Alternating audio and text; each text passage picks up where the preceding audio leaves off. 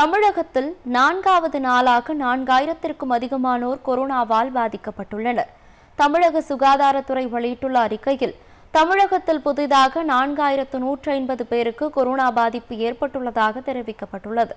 இதன் மூலம் தமிழகத்தில் மொத்த பாதிப்பு எண்ணிக்கை ஒரு லட்சத்து பதினோராயிரத்து நூற்று ஐம்பத்து ஒன்றாக அதிகரித்துள்ளது கொரோனாவால் பாதிக்கப்பட்டவர்களில் மேலும் அறுபது பேர் உயிரிழந்துள்ளதால் மொத்த பலி எண்ணிக்கை ஆயிரத்து ஐநூற்று பத்தாக உயர்ந்துள்ளது.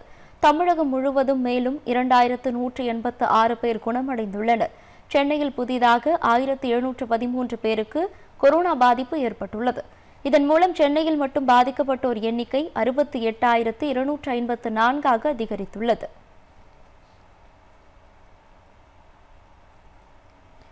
நகராட்சி நிர்வாக ஆணையரகத்தில் தலைமை பொறியாளர் பதவி நிரப்புவது தொடர்பாக எந்த நடவடிக்கையும் எடுக்கக்கூடாது என தமிழக அரசுக்கு சென்னை உயர்நீதிமன்றம் அதிரடி உத்தரவிட்டுள்ளது. சென்னையில் உள்ள நகராட்சி நிர்வாக ஆணையரகத்தில் தலைமை பொறியாளராக பணியாற்றும் நடராஜன் உயர்நீதிமன்றத்தில் தாக்கல் செய்த மனுவில் சென்னை மாநகராட்சி தலைமை பொறியாளராக பணியாற்றும் புகழேந்தி என்பவர் கடந்த இரண்டாயிரத்து பதினாறாம் ஆண்டு ஜூன் முப்பதாம் தேதியுடன் ஓய்வு பெற இருந்த நிலையில் அவருக்கு முதன்மை தலைமை பொறியாளராக பதவி உயர்வு வழங்கி மேலும் நான்கு ஆண்டுகள் பணி நீட்டிப்பு வழங்கப்பட்டதாக தெரிவித்துள்ளார். இந்நிலையில் அவரை தனது பணியிடத்திற்கு இடமாற்றம் செய்து அரசு உத்தரவிட்டதாகவும் பணி நீட்டிப்பில் உள்ள அவரை பணிமாற்றம் செய்ய முடியாது என்பதால் சட்டவிரோதமாக இந்த பணியிடமாற்ற உத்தரவை ரத்து செய்ய வேண்டும் எனவும் வலியுறுத்தியிருந்தார். இந்த வழக்கு நீதிபதி மகாதேவன் முன் விசாரணைக்கு வந்தது. அனைத்து தரப்பு வாதங்களையும் கேட்ட நீதிபதி நகராட்சி நிர்வாக ஆணையகத்தில் தலைமை பொறியாளர் பதவி நிரப்புவது தொடர்பாக எந்த நடவடிக்கையையும் அரசு எடுக்கக்கூடாது என உத்தரவிட்டு மனு தொடர்பாக இரண்டு வாரங்களில் பதிலளிக்க கூறியும் வழக்கு விசாரணையை ஒத்திவைத்தார். சென்னை திருவள்ளூர் உள்ளிட்ட நான்கு மாவட்டங்களில் நாளை முதல் தளர்வுகளுடன் ஊரடங்கு அறிவிக்கப்பட்டுள்ள நிலையில் மாவட்டம் விட்டு மாவட்டம் செல்ல நாளை முதல் இ பாஸ் கட்டாயம் என தமிழக அரசு அறிவித்துள்ளது. சென்னை செங்கல்பட்டு காஞ்சிபுரம் திருவள்ளூர் மாவட்டங்களில் அறிவிக்கப்பட்டிருந்த முழு ஊரடங்கு இன்றுடன் முடிவடைகிறது. இதையடுத்து நாளை முதல் தளர்த்தப்பட்ட விதிகளுடன் கூடிய ஊரடங்கு அமல்படுத்தப்பட உள்ளது.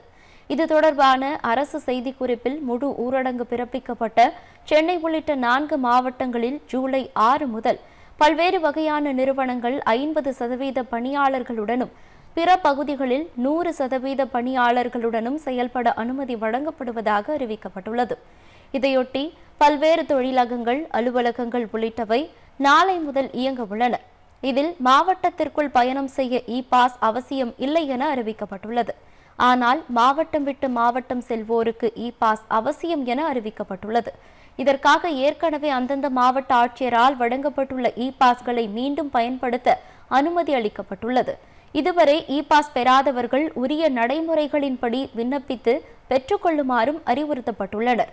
இதனிடையே சென்னை உள்ளிட்ட அனைத்து மாவட்டங்களிலும் ஞாயிற்றுக்கிழமைகளில் முழு ஊரடங்கு தொடரும் என்று அறிவிக்கப்பட்டுள்ளது. பத்தாம் வகுப்பு மாணவர்கள் காலாண்டு அரையாண்டு தேர்வு முழுமையாக எழுதாமல் இருந்தால் ஆப்சென்ட் அளிக்குமாறு தேர்வுத்துறை இயக்குநரகம் அறிவித்துள்ளது. கொரோனா பரவல் காரணத்தால் பத்தாம் வகுப்பு பொதுத் தேர்வு ரத்து செய்யப்பட்டு அனைவரும் தேர்ச்சி என்று அறிவிக்கப்பட்டது. ஆனால் காலாண்டு அரையாண்டு தேர்வு எழுதாத மாணவர்களுக்கு எதன் அடிப்படையில் மதிப்பெண் வழங்குவது என குழப்பம் ஏற்பட்ட போது காலாண்டு அரையாண்டு தேர்வில் எவ்வளவு மதிப்பெண் பெற்றிருந்தாலும் தேர்ச்சி அளிக்குமாறு தேர்வுத்துறை அறிவித்திருந்தது. இந்நிலையில் மீண்டும் இது குறித்து தேர்வுத்துறை இயக்குனர் பழனிசாமி வெளியிட்டுள்ள அறிவிப்பில் காலாண்டு அரையாண்டு தேர்வை முழுமையாக எழுதாத மாணவர்களுக்கு தேர்வு முடிவில் ஆப்சென்ட் என்று பதியுமாறு அறிவிக்கப்பட்டுள்ளது. இந்த அறிவிப்பு ஆசிரியர்கள் மற்றும் மாணவர்கள் மத்தியில் மீண்டும் குழப்பத்தை ஏற்படுத்தியுள்ளது. உலகத்தரம் வாய்ந்த இந்திய செயலிகளை உருவாக்க வேண்டும் என இளைஞர்களுக்கு பிரதமர் நரேந்திர மோடி வேண்டுகோள் விடுத்துள்ளார். லடாக் எல்லையில் இந்தியா சீனா ராணுவம் இடையே நடைபெற்ற மோதலால் இரு நாடுகளுக்கும் இடையேயான உறவில் சிக்கல் ஏற்பட்டுள்ளது. இதற்கிடையில் இந்திய இறையாண்மைக்கு அச்சுறுத்தலாக இருப்பதாக கூறி சீனாவின் ஐம்பத்து ஒன்பது செயலிகளுக்கு கடந்த சில தினங்களுக்கு முன்பு மத்திய அரசு தடை விதித்தது. இந்நிலையில் உலகத்தரம் வாய்ந்த இந்திய செயலிகளை உருவாக்க வேண்டும் என இந்திய இளைஞர்களுக்கு பிரதமர் மோடி அழைப்பு விடுத்துள்ளார். இதுகுறித்து ட்விட்டரில் அவர் வெளியிட்டுள்ள பதிவில் உங்களிடம் இது போன்ற தயாரிப்பு இருந்தால் அல்லது இது போன்ற தயாரிப்புகளை உருவாக்குவதற்கான பார்வை மற்றும் நிபுணத்துவம் இருப்பதாக உணர்ந்தால் இந்த சவால் உங்களுக்கானது என தெரிவித்துள்ளார். தொழில்நுட்ப சமூகத்தில் உள்ள அனைவரும் இதில் பங்கேற்குமாறு மோடி வேண்டுகோள் விடுத்துள்ளார். முயற்சிகளுக்கு வழிகாட்டுதல்களையும் கடின உழைப்பிற்கு வேகத்தையும் சந்தையை திருப்திப்படுத்தக்கூடிய பயன்பாடுகளை உருவாக்கவும் இது ஒரு நல்ல வாய்ப்பாகும் என்றும் பிரதமர் நரேந்திர மோடி தெரிவித்துள்ளார். கேரளாவில் கொரோனா தடுப்பு நடவடிக்கைகள் அடுத்த ஆண்டு ஜூலை வரை தொடரும் என அம்மாநில அரசு அறிவித்துள்ளது. இது தொடர்பாக கேரள அரசு வெளியிட்டுள்ள தகவலில் நாளுக்கு நாள் பாதிப்பு அதிகரித்து வருவதால் கொரோனா தடுப்பு நடவடிக்கைகளை நீண்ட காலத்திற்கு மேற்கொள்ள வேண்டி இருப்பதாகவும் அதனால் அடுத்த ஆண்டு ஜூலை மாதம் வரை கொரோனா தடுப்பு நடவடிக்கைகள் தொடரும் என்றும் தெரிவிக்கப்பட்டுள்ளது. பெருந்தொற்றை தடுக்க புதுவிதமான வழிமுறைகளை கையாண்டு வருவதாகவும் இதனால் வரும் காலங்களில் கொரோனா பரவலை கட்டுப்படுத்த கடும் நடவடிக்கைகள் தேவைப்படுவதாகவும் கேரள அரசு கூறியுள்ளது. முகக்கவசம் அணிவது தனி மனித இடைவெளி போன்றவை கட்டாயம் கடைபிடிக்கப்பட வேண்டும் என்றும் இதற்கு மக்கள் ஒத்துழைப்பு அளிக்க வேண்டும் என்றும் கேரள அரசு கேட்டுக்கொண்டுள்ளது. தமிழகத்தில் அனைத்து மாவட்டங்களிலும் இன்று எந்த தளர்வுகளுமின்றி முழு ஊரடங்கு கடைபிடிக்கப்பட்டது. முழு முடக்கத்தால் கடைகள் அனைத்தும் அடைக்கப்பட்டு சாலைகள் வெறிச்சோடின. ஜூலை மாதத்தில் தமிழகம் முழுவதும் அனைத்து ஞாயிற்றுக்கிழமைகளிலும் தளர்வுகளின்றி முழு ஊரடங்கு அமல்படுத்தப்படும் என அரசு அறிவித்தது. இதன்படி அத்தியாவசிய தேவைகளான பால் கடை மருந்தகங்கள் மட்டுமே இயங்கின. மளிகை காய்கறி உள்ளிட்ட கடைகள் நாள் முழுவதும் திறக்கப்படவில்லை. மாநிலம் முழுவதும் டாஸ்மாக் கடைகளும் மூடப்பட்டிருந்தன. பெட்ரோல் விற்பனை நிலையங்களும் மூடப்பட்டுள்ளன. தேசிய மற்றும் மாநில நெடுஞ்சாலைகள் உட்பட முக்கிய சாலைகளின் தடுப்புகளை ஏற்படுத்தி போலீசார் தீவிர கண்காணிப்பு பணிகளில் ஈடுபட்டனர். இதேபோல் காஞ்சிபுரம் மாவட்டத்திலும் தளர்வில்லா முழு ஊரடங்கு தீவிரமாக அமல்படுத்தப்பட்டது. காஞ்சிபுரத்தில் மக்கள் நடமாட்டம் மிகுந்த காந்தி மற்றும் காமராஜர் சாலைகள் பேருந்து நிலையம் உள்ளிட்ட பகுதிகளிலும் பொதுமக்கள் நடமாட்டம் மற்றும் போக்குவரத்தின்றி சாலைகள் வெறிச்சோடி காணப்பட்டன. பால் மருந்து கடைகள் தவிர தேநீர் மளிகை காய்கறி கடைகள் உள்ளிட்ட அனைத்து கடைகளும் மூடப்பட்டிருந்தன. இதனிடையே ஆட்சியர் அலுவலகம் உள்ளிட்ட மூன்று இடங்களில் விதிகளை மீறி செயல்பட்ட மீன் கடைகளை பெருநகராட்சி ஊழியர்கள் அகற்றினர். தருமபுரி மாவட்டத்தில் மருந்து பால் கடைகளை தவிர அனைத்து வர்த்தக நிறுவனங்களும் மூடப்பட்டிருந்தன. நகரின் பிரதான சாலைகளும் எப்போதும் போக்குவரத்து மிகுந்த தருமபுரி சேலம் நெடுஞ்சாலையும் போக்குவரத்தின்றி வெறிச்சோடி காணப்பட்டது.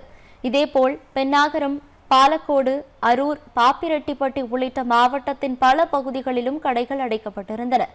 முழு ஊரடங்கையொட்டி கோவை மாவட்டம் முழுவதும் கடைகள் அடைக்கப்பட்டன. மருத்துவ தேவைகளை தவிர்த்து அனைத்து போக்குவரத்தும் நிறுத்தப்பட்டது. சாலைகளில் சோதனை சாவடிகள் அமைத்து போலீசார் தீவிர கண்காணிப்பில் ஈடுபட்டிருந்தனர். நெல்லை மாநகர் பகுதிகளில் நெல்லை டவுன் சந்திப்பு வண்ணாரப்பேட்டை பாளையங்கோட்டை தச்சநல்லூர் மற்றும் மேலப்பாளையம் உள்ளிட்ட அனைத்து இடங்களிலும் கடைகள் மூடப்பட்டிருந்தன. காய்கறி சந்தைகளும் திறக்கப்படவில்லை. மக்கள் நடமாட்டம் வாகன போக்குவரத்து இல்லாததால் சாலைகள் வெறிச்சோடி காணப்பட்டன. இதுபோன்று வள்ளியூர் ஏர்வாடி களக்காடு அம்பாசமுத்திரம் சங்கரன் கோவில் உட்பட மாவட்டத்தின் அனைத்து பகுதிகளிலும் கடைகள் மூடப்பட்டு முழு ஊரடங்கு கடைபிடிக்கப்பட்டது.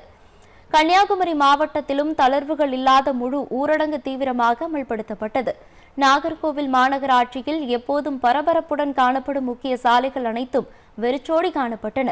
மருந்தகங்கள் தவிர பெட்ரோல் பங்க் உள்ளிட்ட அனைத்து வர்த்தக நிறுவனங்கள் மற்றும் கடைகள் மூடப்பட்டிருந்தன. திண்டுக்கல்லில் முழு ஊரடங்கு காரணமாக மெயின் ரோடு பெரிய கடை வீதி பழனி ரோடு திருச்சி ரோடு பேகம்பூர் உள்ளிட்ட பல்வேறு பகுதிகளில் ஜவுளி நகைக்கடை மற்றும் பல்பொருள் அங்காடிகள் உள்ளிட்ட அனைத்து கடைகளும் மூடப்பட்டிருந்தன. இதனால் சாலைகளும் மக்கள் நடமாட்டம் மற்றும் போக்குவரத்தின்றி வெறிச்சோடி காணப்பட்டன. இதனிடையே திண்டுக்கல் புறவழி சாலைகளிலும் தடுப்புகளை அமைத்துள்ள காவல்துறையினர் அத்தியாவசிய தேவையின்றி வரும் வாகனங்களை பறிமுதல் செய்தனர்.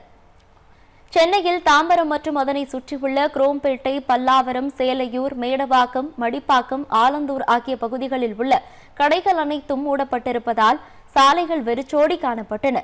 சென்னை கிழக்கு கடற்கரை சாலையில் உள்ள திருவான்மியூர் முதல் காணாத்தூர் வரை அனைத்து கடைகளும் மூடப்பட்டு வாகன போக்குவரத்தும் முடங்கியது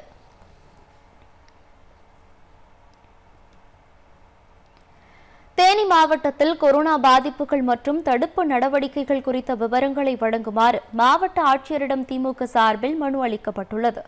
திமுக தலைவர் மு ஸ்டாலின் அறிவுறுத்தலுக்கிணங்க தேனி மாவட்ட கொரோனா பாதிப்புகள் மற்றும் மரணங்கள் தடுப்பு நடவடிக்கைகள் மருத்துவ வசதிகள் படுக்கை வசதிகள் உள்ளிட்டவை குறித்து முழுமையான தகவல்களை வழங்குமாறு மாவட்ட ஆட்சியரிடம் திமுக மாவட்ட பொறுப்பாளர் கம்பம் ராமகிருஷ்ணன் மனு வழங்கினார்.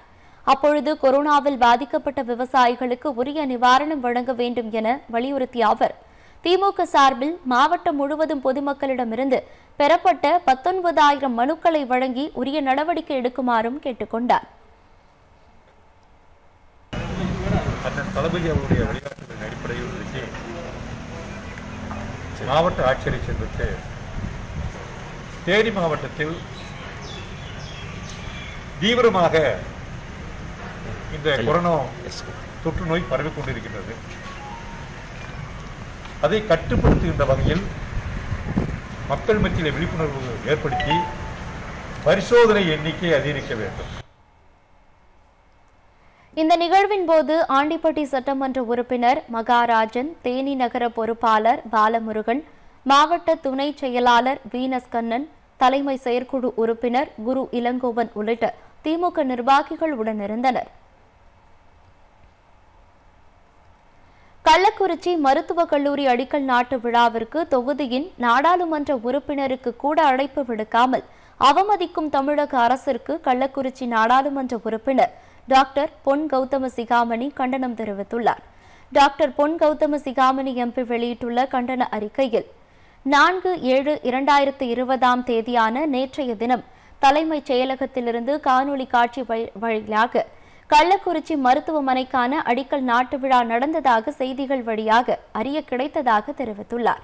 தொகுதியின் நாடாளுமன்ற உறுப்பினரும் மருத்துவக் கல்லூரி வேண்டும் என பலமுறை நாடாளுமன்றத்தில் குரல் கொடுத்த தனக்கு இது குறித்த எந்த தகவலோ அழைப்போ அனுப்பப்படவில்லை என்று குற்றம் சாட்டியுள்ளார். இந்த அப்பட்டமான நாடாளுமன்ற உறுப்பினர் மாண்பு அவமதிப்பு கடுமையான கண்டனத்திற்குரியது என்றும் அவர் தெரிவித்துள்ளார். எனவே மேற்படி செயலுக்கான தக்க விளக்கத்தை மாவட்ட ஆட்சியர் வழங்க வேண்டும். மேலும் இது தொடர்பாக திராவிட முன்னேற்றக் கழக தலைவர் மு க ஸ்டாலினின் அறிவுரையையும் அனுமதியையும் பெற்று மேல் நடவடிக்கைகள் மேற்கொள்ளப்படும் என்று டாக்டர் பொன் கௌதம சிகாமணி தெரிவித்துள்ளார்.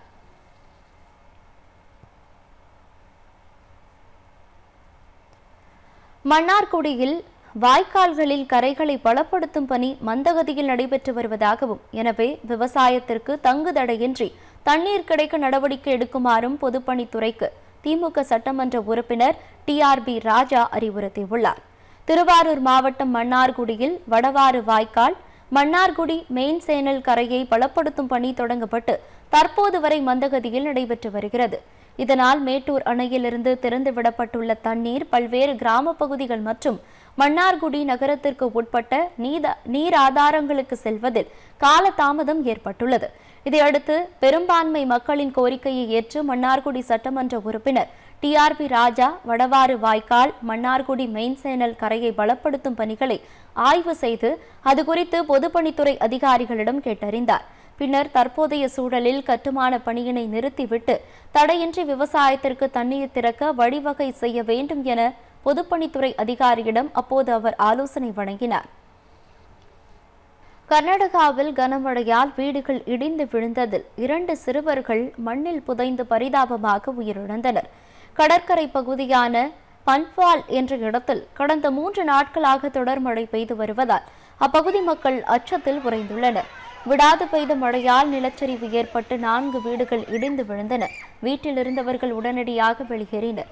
அப்போது தூங்கிக் கொண்டிருந்த இரண்டு சிறுவர்கள் இடிபாடுகளில் சிக்கி உயிரிழந்திருப்பது பின்னர் கண்டுபிடிக்கப்பட்டது. தேசிய பேரிடர் மீட்பு குழுவினர் உடல்களை மீட்டனர். இருவரும் ஒரே குடும்பத்தைச் சேர்ந்தவர்கள் என்பது குறிப்பிடத்தக்கது.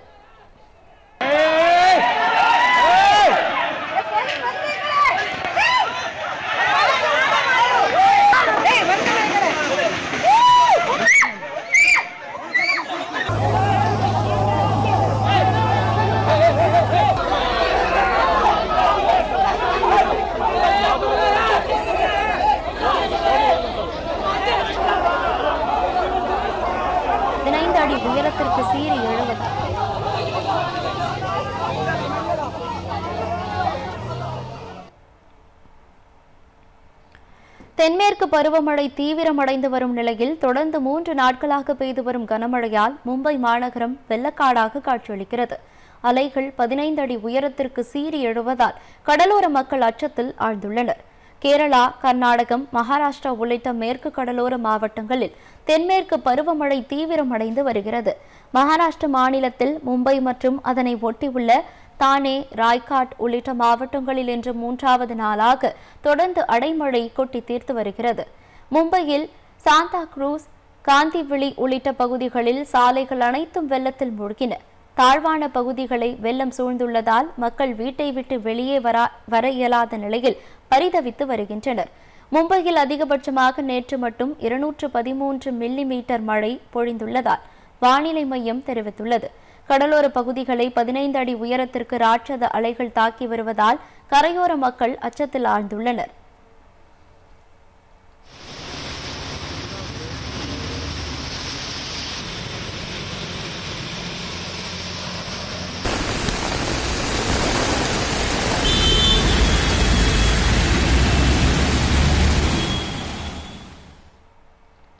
மும்பை மாநகராட்சி நிர்வாகம் மஞ்சள் எச்சரிக்கை அறிவிப்பு வெளியிட்டு தாழ்வான பகுதிகளில் வசிக்கும் மக்களை அப்புறப்படுத்தும் நடவடிக்கையிலும் தேங்கி நிற்கும் மழைநீரை வெளியேற்றும் பணியிலும் தீவிரமாக ஈடுபட்டு வருகிறது.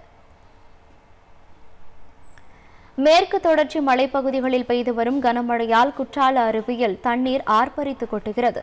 தென்காசி மாவட்டத்தில் மேற்கு தொடர்ச்சி மலையடி வாரத்தில் அமைந்துள்ள குற்றாலம் நீர்வீழ்ச்சி இயற்கை எழில் கொஞ்சம் சுற்றுலாத்தலமாகும். இந்த ஆண்டு சீசன் தொடங்குவதில் தாமதம் ஏற்பட்டாலும் கடந்த இரண்டு நாட்களாக சாரல் மழை பெய்து வருகிறது. மேற்கு தொடர்ச்சி மலைப்பகுதியிலும் மழை பெய்து வருவதால் மெயின் அருவியில் பாதுகாப்பு வளைவை தொட்டு தண்ணீர் விடுகிறது. அருவிகளில் தண்ணீர் ஆர்ப்பரித்து கொட்டினாலும் ஊரடங்கு காரணமாக சுற்றுலாவிற்கு தடை விதிக்கப்பட்டிருப்பதால் மக்கள் கூட்டமின்றி வெறிச்சோடி காணப்படுகிறது. இத்துடன் இந்த செய்தி தொகுப்பு நிறைவடைகிறது. அண்மை செய்திகளை அறிந்து கொள்ள இணைந்திருங்கள். கலைஞர் செய்திகளோடு. வணக்கம்.